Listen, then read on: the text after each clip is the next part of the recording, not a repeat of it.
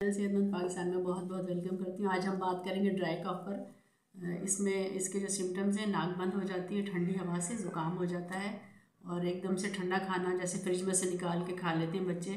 और इसके अलावा फ्रिज में से कोई भी चीज़ निकाल कर आप एकदम से मत खाएँ, उसे नॉर्मल होने दें, उससे गला बंद हो जाता है, गाढ़ा बलगम आना शुरू हो जाता है ग्रीन कलर का।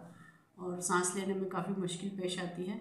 इसके लिए आप हाइपर सेल्फ आपको मैं मेडिसिन बताऊँगी टू हंड्रेड पोटेंसी में हाइपर सेल्फ मेडिसिन यूज़ करें दिन में तीन दफ़ा।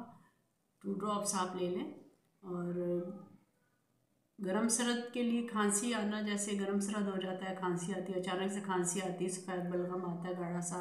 उसके लिए दूसरी मेडिसिन है स्पंजिया टोस्टा टू हंड्रेड में ये भी जैसे कुत्ते वाली खांसी कहते हैं कुत्ता खांसी लग गई है, बच्चों को खुश खांसी होती है भों भों की आवाज़ सी आती है उसमें से। पूरी नाक में और स्वेलिंग सी महसूस होती है या सूखापन सा महसूस होता है। आवाज़ में भारीपन आ जाता है और गले में ऐसा लगता है जैसे कुछ फंसा हुआ है और ये अक्सर रात के टाइम खांसी आती है। ये दो एकोनाइट है और पर सेल्फ है और स्पॉन्जिया टोस्टा ये तीन मेडिसन है जो आपने इस्तेमाल करनी है। इन सबको आपने मिक्स कर लेना है।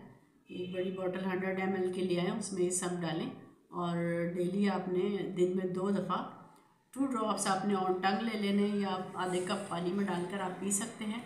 इसे आप इस्तेमाल करें, कोई बात समझ नहीं आती कमेंट्स में पूछ सकते हैं।